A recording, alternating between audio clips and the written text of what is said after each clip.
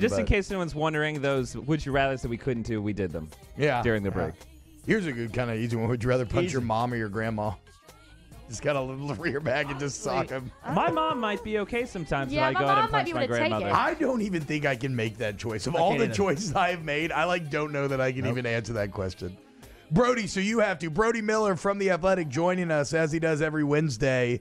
Uh, me and him will be recording the Hold That Podcast podcast of the show today. Brody, Nobody cares about that. They just want to know if you do a 16 year old troll or wait till a 32 year old supermodel. Okay, it was a Hobbit. It was a Hobbit, and he and he did answer. Uh, he he did answer Hobbit. Would you rather? I mean, would you rather punch your mom or your grandmother though, Brody?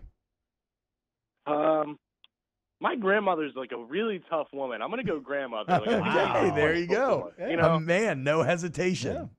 From the. Uh, she grew up on a farm in Kentucky.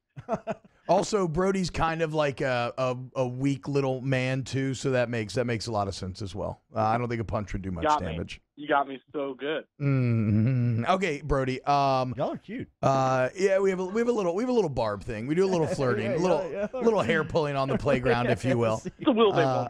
He he gets me quite a bit You're actually. it. No, He- you're it. Yeah, he he tags me pretty No, good. you're uh, the best. You're awesome. He's very witty, so that's why it's fun to fun to mess with him. Um, he's also an okay writer. Check out his work at the Athletic. And Brody, you've had a lot to write about recently in all of these LSU news. Out of everything that's happened, all the departures, everything else, do you have one guy or one departure that you think is kind of the most impactful for LSU?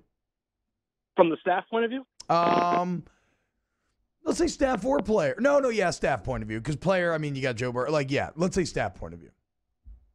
I think as much as like Brady got the acclaim, I just don't think you can really avoid how Dave Aranda, I mean, has been the rock at LSU for the past, you know, you know, four years, and has been you know the highest paid defense coordinator of football, and deservedly so. And I mean, I, I just think I think he's one of those things where he started to get a little criticized last year, but I think people will really realize how great he was once he's gone. But then you can also counter that by saying, all right, it looks like they have a very high profile replacement of Bo Pelini who can probably keep things afloat there. While, you know, Joe Brady, I don't know if you're going to have anybody that comes in and really does what Joe Brady did because you might not ever find somebody that much of a lightning in a bottle at a cheap price again like that. So I guess that is a, a good open ended question. But yeah, the more I think about it, that is a boring question because it's either one of those two guys. So my bad. Uh, what did- what so what did you think about the Pelini hire then? A guy that's kind of been out of the main spotlight for a while, but has a good resume overall. Yeah, you know, I think my initial reaction when I first heard about it was a lot of confusion, a lot of I don't know if I see the fit. I don't know about hiring a guy who hasn't coached at this level in six years, all that. But you know, the more I've talked to people who who played for him at Youngstown State, who coached with him his last 20 years, and all the story coming out tomorrow at some point. But the more I really ask, I, I really do think I'm not I'm not sure he's going to be Dave Aranda. I bet there is going to be some kind of drop off. But I mean, he is one of the most respected defensive minds in the game, and I think his situation is more complicated than, oh, he went to go be Youngstown State's coach. He went home. He went to a town that he actually like sincerely loves and is still best friends with all of his friends from there, and he was still getting paid from Nebraska. Yeah. And you know, I think, and so he didn't have to worry about money. And you know, I think you also factor in that he obviously had a very messy breakup with Nebraska, which I think kind of kept some schools from maybe looking at him those first few years. But now that I mean, but he's not coming here to be a head coach. He's coming here to be a defensive coordinator. I talked to one of his best friends at Youngstown State, and they were saying I think he was kind of itching to get back to that challenge of of not worrying about classes or you know GPA. I mean, he still has to worry about those things, but you know what I mean. And Yeah. like having all this personnel decisions and all those things, he just gets to go back and coach defense, which is something I think he loves, and I think he wants the challenge of going back to being a DC. And all of that is a long way of saying I think we forgot how good of a defensive coach he was because of because we started thinking mm. of him as what he was as a head coach or all the drama that came around him. But I do kind of think I've come around that it is a pretty damn good hire, darn good hire. Do you do you think that you could you can say damn that's okay. Um, did you think that AFR. did did Nebraska being bad after he left like does that actually help his reputation in a weird way? Oh, I think it has to. I mean, that is really funny that he was this. I mean, I'm trying to think of a great comparison. He was like the Jeff. He was almost made fun of, like he was the Jeff Fisher of college football. Yeah. It was like a guarantee he'd go nine and three every single year.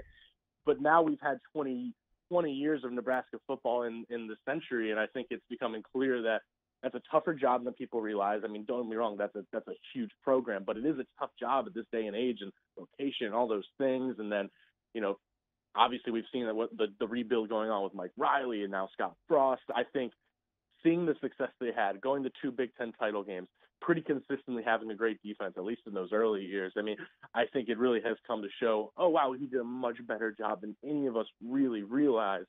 And uh, I think he, I think that's kind of that that has definitely helped his stock a little bit. I would imagine in the last two or three years. Yeah, and you look, I mean, recruiting. I don't know. Uh, maybe I'm misspeaking that he didn't recruit these guys, but you know, he had like a Ndamukong Suh, Ameer Abdullah, Prince Amukamara. Like he had a he had a lot of talent up there. Um, Brody, right now on the Athletic, your latest article posted two hours ago. I haven't had a chance to read it yet, but this is a hell of a headline.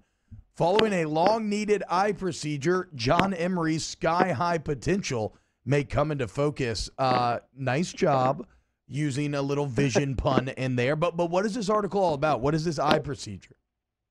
Yeah, so so John Emery, I mean, has been this is he, he had, first off he had LASIK eye surgery last week, which Mm. is which is news, and I, I think the big thing with him is he has been, you know, according to his dad, legally blind for pretty much in one eye for his entire life.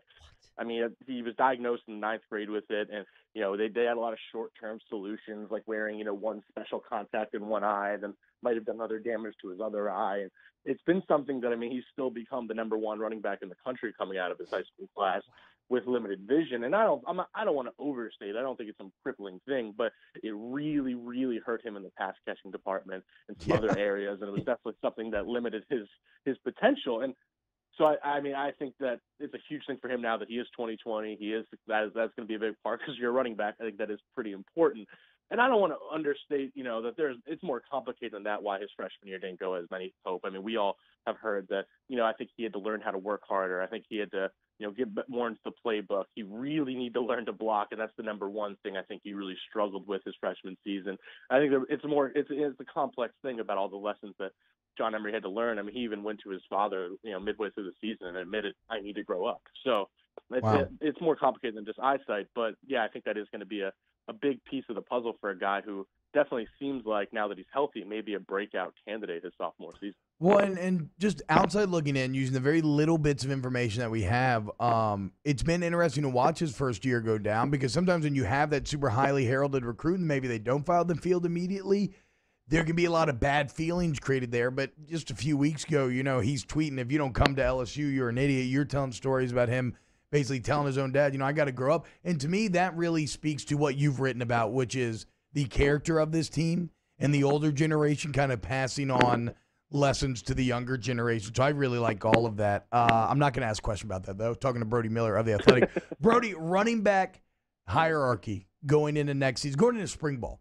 Um, did Curry launch himself to the fore here, or is it TDP and the others? Like, do you have an idea of kind of where the pole position is going into spring ball? Yeah, um, I think that really is the most fascinating. I mean, there might be more impactful decisions going on this next few months, but I think the most interesting is running back because it just feels so sincerely wide open. You know, like Davis Price was obviously the most productive throughout this season and definitely the most trustworthy and consistent. Ed Orgeron has said that himself. And then, you know, Chris Curry was at the bottom of the depth chart all year, and then all of a sudden now he blew everyone away during you know, Peach Bowl practices, got the start, looked great that game. And I think suddenly the, the coaching staff is like, well, maybe we need to look closer at him for that spot. And I think he surprised them a lot. But then there's no secret that Emery is probably the most talented of that group. I mean, his his potential is just ridiculous when when he puts it all together. We've seen some of those runs that he can just do things most people can't. So it, now that you add, you know, him having better eyesight, maybe learning some lessons, it is it's going to be so fascinating because I if you ask my hierarchy right now, yeah, maybe I say Curry has a slight edge, number one, but I might be lying to you because I really think it's going to be so even going into the spring because they all have a chance and all have a legitimate case. I mean, I, I remember we talked about on our show that if I had to make a pick right now about who's starting in September, I'll say Emery just because I think he is the most to gain, the most to, you know, with a full off season learn and develop with all that talent. But I could, I wouldn't be shocked at all if it was Davis Price or something like that. Orgeron was here 24 hours ago and said from the passing game coordinator standpoint, it'll take full focus next week and that George Munoz could be a candidate. Did that surprise you? It did surprise me, and uh, yeah, by the way, great job on that, guys. And yeah, I, I uh, Yeah, I you're think welcome. Everybody, the way I think there was a lot of yeah, thanks, buddy. I think there was a lot of confusion on Twitter about like what does that mean. Yeah. But I mean, it, it's not. In hindsight, I mean, okay, I I think we all know that LSU was always interested in him for that job. They just their timeline was different than Munoz had to be. It isn't that different from the Dennis Johnson situation where I think LSU and you know and Baylor had just had different timelines and they had to make a decision. I think they would have. I, don't. I don't know if George Munoz is going to get that job, and it obviously wouldn't be a great look for Munoz to kind of burn Dave Aranda like that a few weeks later. But it isn't surprising, I guess, in hindsight that yeah, he took the Baylor job because LSU wasn't ready to make a decision, but LSU was still interested in him and could probably pay more than Baylor would pay for a receiver coach. That that does make sense to me. It's going to be fascinating to see what LSU does with that job because you would imagine it's a wide pool of candidates. You know, you have your Munozes, but there's going to be some NFL names involved. I think there's going to be a lot of people probably interested in that position based on what Joe Brady just did.